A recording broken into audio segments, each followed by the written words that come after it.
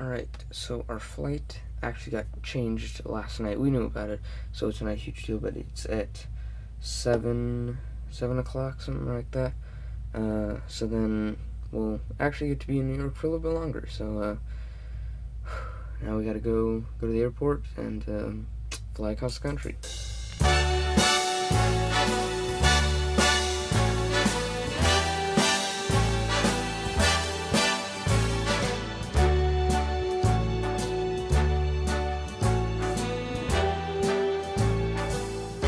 Start spreading the news.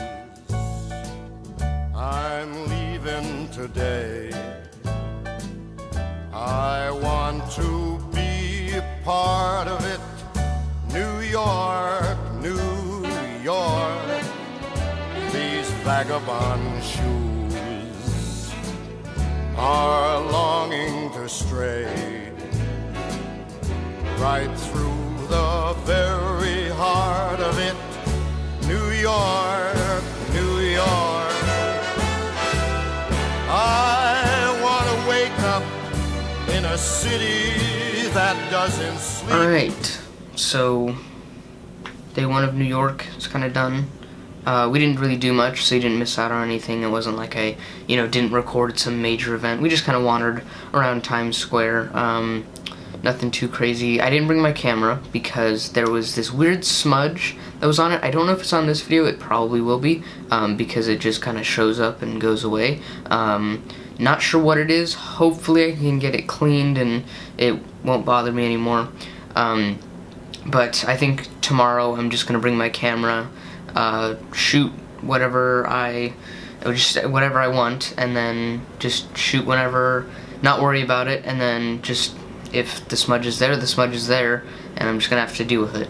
Um, so I did take some cool pictures, some long long exposure pictures. Um, it's basically you basically just like uh, hold the camera button down. This is my sister's camera.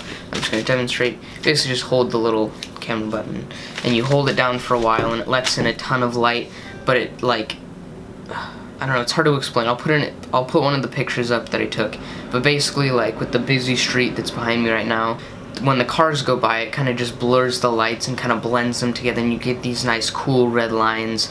And it looks, it looks really cool. I'm thinking that maybe if I could get a better one, like maybe from a better street corner. The hard thing is I didn't bring my full tripod. The one thing that you do have to make sure of when doing these is that the camera is stable. And all I've got is a GorillaPod.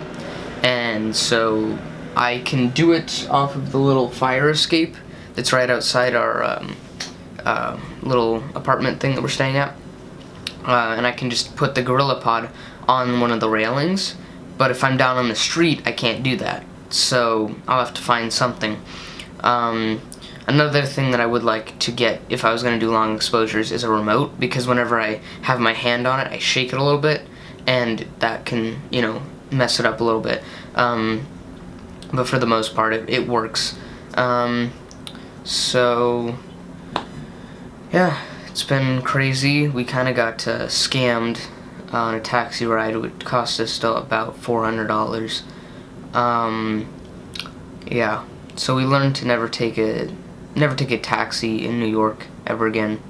Uh, either walk or take an Uber, because we're really not that far from everything. Like Times Square is literally just you know a couple blocks uh, down the street. So I'm probably gonna walk most of the time.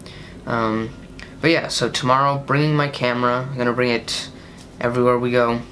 Um, and then, that's kind of it. Nothing much to talk about today. So, uh,